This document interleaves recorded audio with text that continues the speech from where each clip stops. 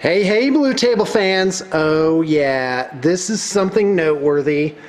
It's a Vostroyan's army, and you may have remembered this coming onto uh, on on the block here a while back. Somebody went ahead and bought this and commissioned it, and it is it is amazing. Now I could have set this up in a more like cinematic fashion, uh, like with you know squads of 10 with the special weapons and the sergeants and such but uh, part of the reason for this video is to make an inventory for the client. That's not true of all videos but in this case I I really had to set this up to make sure that it had the right amount of every single figure. So we're going to go in and take a look at a few items and but I just wanted you to be impressed first by this block uh, it's uh, just around a hundred Vostroyans with lasguns. There's well over 200 figures here, and oddly, that's about the size of a Warhammer Fantasy army, or the size of four or five War Machine armies. So uh, this, yeah, this is this is really something. All that's missing here is tanks. We need to get some tanks in here. So anyway, we've got uh, vox casters, medics. Very pleased with how those turned out. A couple of Primaris psykers this heavy flamer guy for some reason. Here are the three commanders done up to a higher level of painting.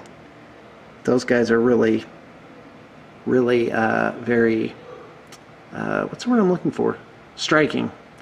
So anyway, a bunch of uh, sergeants with power fists, guy of other types of sergeants here. Sergeants with chain swords. This is a bunch of crew that were just loose um, I'm pretty sure all the heavy weapons have like two guys on them. So 27 heavy weapons, plenty of heavy weapons here.